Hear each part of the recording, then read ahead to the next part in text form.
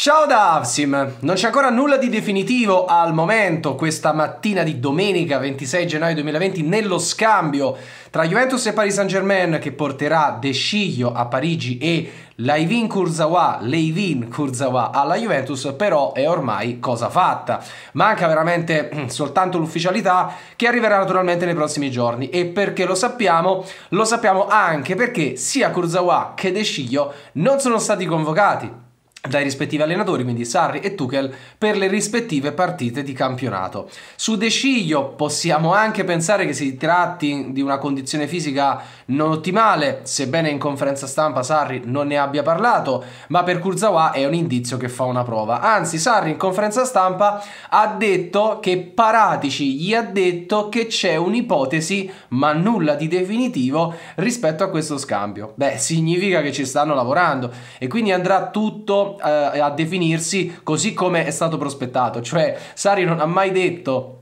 Paratici mi ha detto che c'è una trattativa in corso, se lo dice in questo caso è perché parliamo veramente di qualcosa di concreto. Quindi non c'è dubbio, non c'è dubbio, lo dico anche perché era trapelata qualche voce, no, ma sta saltando, c'è una squadra inglese su Kurzawa, in realtà sì, c'era se non sbaglio l'Arsenal, ma qualche giorno fa o qualche settimana fa, ma se ne era parlato perché Kurzawa va in scadenza a giugno, quindi era un discorso completamente diverso. E qui arriva anche la conferma del fatto che la Juventus su Kurzawa ci è arrivata tardi, ci è arrivata dopo e ci è arrivata per necessità e per urgenza, ma non perché avesse programmato, se non magari in tempo, in tempo risalente e per altre necessità, di andare a prendere questo giocatore, cioè magari Kurzawa era stato già studiato, era stato già valutato e preso in considerazione e sicuramente sicuramente è stato anche chiesto a Sarri più o meno cosa ne pensa. Anche se Sarri in conferenza stampa ieri pre-Napoli-Juventus ha detto che non ha ancora studiato Kurzawa, lo ha visto giocare per caso qualche volta, però poi la decisione di andare su Kurzawa è venuta in maniera estemporanea perché si è fatto male Danilo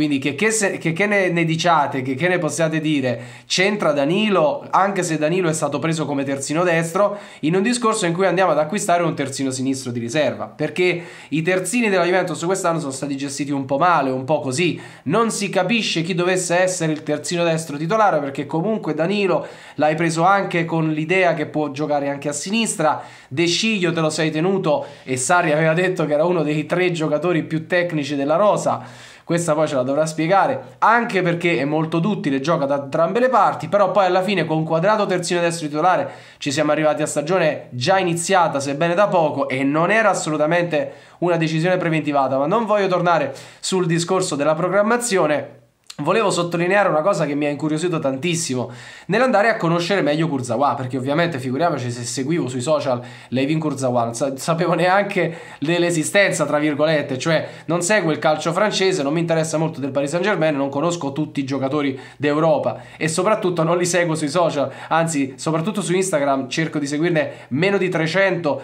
circa 200-250 perché eh, li seguo con attenzione perché voglio effettivamente capire informazioni dai calciatori della Juventus Juventus, le calciatrici della Juventus, le WAGS che seguo per capire gli spostamenti, anche la vita privata dei calciatori e, e impazzirei se andassi a seguirne troppi. Ma vedendo il profilo Instagram e le ultime storie eh, di Kurzawa in particolare, in cui andate a vedere una partita di basket con Neymar, con Mbappé, con Marquinhos, con Icardi, insomma una bella banda, devo dire che si tratta veramente di un giocatore esuberante, ma di una personalità esuberante. Cioè parliamo dell'opposto di De Sciglio e questo è il discorso che un po' mi incuriosisce. C'è anche un discorso di deitalianizzazione della rosa della Juventus perché in questo momento ne restano, se non sbaglio, 6, compresi Buffon e Pinzoglio cioè Pinsoglio che non gioca mai, Buffon che è molto, moltissimo avanti con l'età e quindi è destinato ad uscire pure lui e Chiellini in realtà pure lui alla fine sarà sostituito da due stranieri, comunque sia Bonucci e Chiellini saranno sostituiti da due stranieri perché Delict e De Viral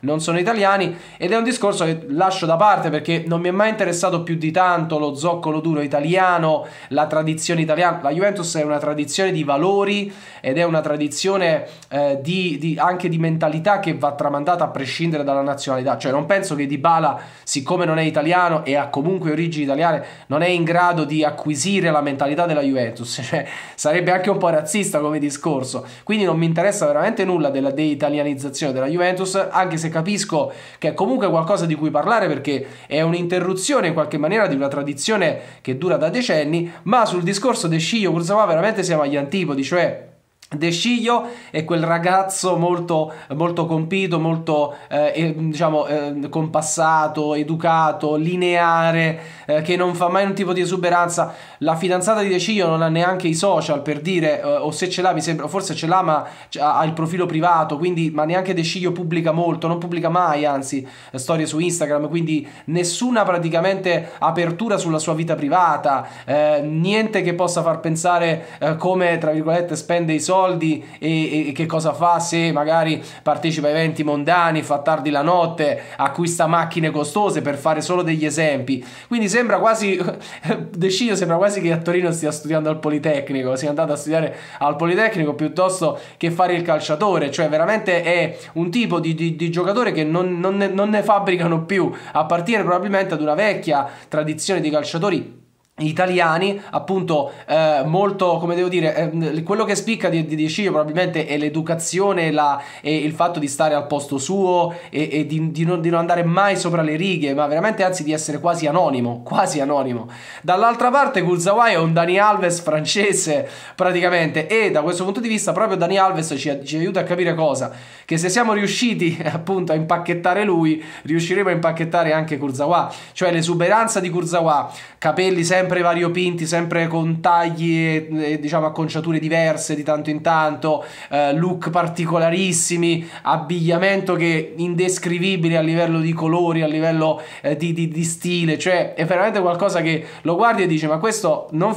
A non fa il calciatore, B sarà almeno un rapper o comunque un hip hopper, quindi un cantante oppure qualche altro genere, diciamo, di persona del mondo dello spettacolo, perché sembra più quello, cioè persino Pogba a confronto a Kurzawa è uno vestito in giacca e cravatta, per dire, quindi veramente siamo agli antipodi. Ed è una, una cosa che incuriosisce perché significa evidentemente che la Juventus a questo tipo di aspetti non bada o, no, o non bada più, perché non so se effettivamente è vera la storia che per andare alla Juventus devi essere un soldatino, come diceva qualche, eh, come dice qualche ex calciatore che non è mai stato un vero calciatore che non so perché venga accostato alla storia del calcio italiano, lasciamo perdere. Eh, non so se, se, se, se, sia mai stata vera questa storia, però se è stata vera abbiamo smesso di badare a questi aspetti perché altrimenti uno, uno come Kurzawa non l'avresti preso perché sarebbero intervenuti discorsi come ma questo qui esuberante, ma questo qui spacca lo spogliatoio. Ma come fai con la mentalità Sabauda piemontese ad inserire un giocatore del genere dentro la Juventus, lo stile Juve, eccetera?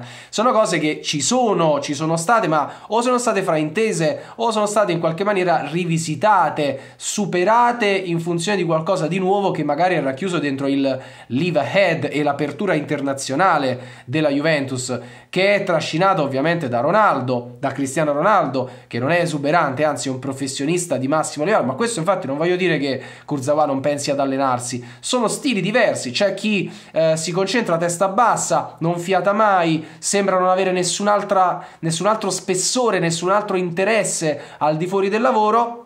ho sempre un po' di titubanze e di dubbi nei confronti delle persone di questo tipo, ma è una mia idea soggettiva, e chi invece sembra avere appunto uno spessore in più, sembra avere anche eh, la testa altrove, che non sempre significa distrarsi, può significare anche invece avere, come dire, eh, una poliedricità, eh, essere multitasking, avere un'apertura mentale, però diciamo Kurzawa a guardarlo così, eh, non voglio entrare nel discorso tatuaggi perché poi entrerei nei pregiudizi, cioè io per esempio tatuaggi non ne ho e credo che non ne farò mai, ma no, non giudico chi ne ha, eh, però è capite che proprio a livello di immagine sta anche lì la differenza, perché De Ciglio, eh, ripeto, sembra il ragazzo che porta la spesa a casa alla nonnina che esce dal supermercato, rispetto a Kurzawa che invece sembra quello che sta davanti al supermercato, immaginando la stessa scena con la musica a palla dentro la macchina con gli sportelli aperti. Insomma, questo, no, ma senza, cioè, senza entrare negli stereotipi, voglio dire, non voglio semplificare e generalizzare, però la curiosità che è poi amplificata anche da un articolo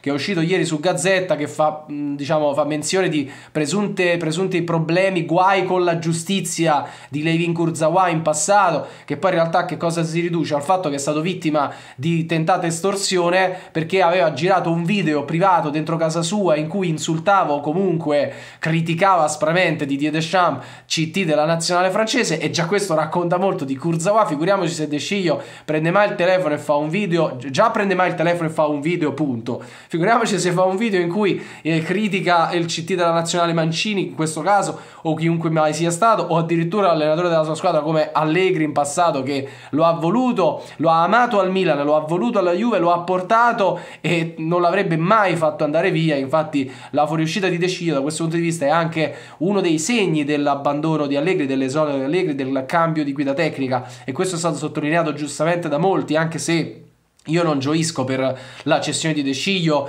perché così si va a dilapidare, tra virgolette, l'eredità e il patrimonio di Allegri. Sono cose che non mi entrano in testa, per me non significano veramente nulla. Però la curiosità era questa. Dicevo, il discorso poi di guai con la giustizia, ovviamente, cosa devono mai scrivere? La Juventus acquista un giocatore, devono andare a spulciare sua vita, nella sua vita privata per andare a trovare qualunque tipo di stortura, qualunque tipo di imbarazzo, qualunque tipo di situazione controversa nel passato che magari si rifà a anni e anni e anni addietro dietro oppure viene semplicemente travisata e raccontata male. Ma questo diciamo ci siamo abituati. Poi invece chi viene acquistato dalle altre squadre, in particolare dall'Inter, è un angelo, è un angelo sceso dal cielo. Vabbè, Ripeto, abbandonando generalizzazioni e stereotipi, ho provato semplicemente a dirvi la mia su questa questione, oltre agli aggiornamenti, ovviamente sullo scambio, perché vi dicevo la mancata convocazione di Kusawa e De Sciglio da una parte e dall'altra significa tanto. Ditemi la vostra nei commenti, anche critiche nei confronti della mia opinione che vi ho espresso, perché mi rendo conto che possiate